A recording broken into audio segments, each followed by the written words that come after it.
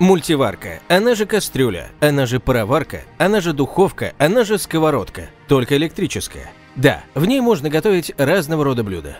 Чтобы в ней готовить, не нужно ходить на кулинарные курсы или часами сидеть на кухне, наблюдая за опытными поварами.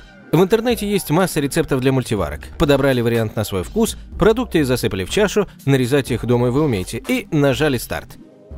Сегодня посмотрим на мультиварку Мажо в деле. Вечером постараюсь удивить свою девушку своими кулинарными способностями и приготовить курицу с грибами. А пока продолжим знакомство с техникой.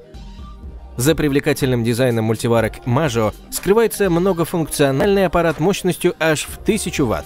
Чем больше мощность, тем быстрее готовятся продукты.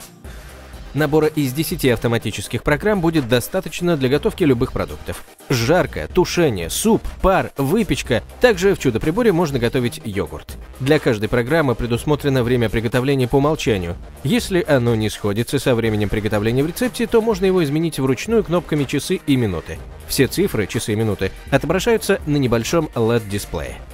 Есть полезная функция «Отложенный старт» до 20 часов. Ждете гостей к 7 часам вечера? Кладете продукты утром в мультиварку, выставляете необходимое время, и можно смело идти на работу. И ровно в 7 все как раз приготовится, а еще и перейдет в режим поддержания температуры. Ножки расположены специальным образом, чтобы аппарат не ерзал по столу. Внутренняя пластина крышки и клапан отвода пара съемные. Можно снять их, промыть в воде. Это облегчает уход за устройством. Каркас сделан из прочного белого пластика, а внешняя часть корпуса – цветная нержавеющая сталь. MG401 и MG402 различаются между собой только цветом.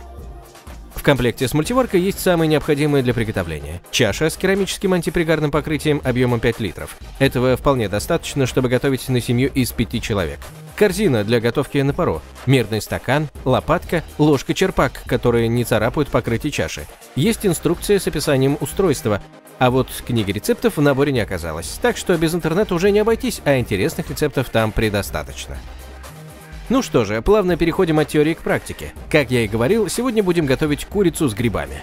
Режем продукты на кусочки, а именно шинкуем 2 куриных филе, 200 грамм грибов. Я остановился на шампиньонах. Репчатый лук нарезаем кольцами. Кладем продукты в чашу.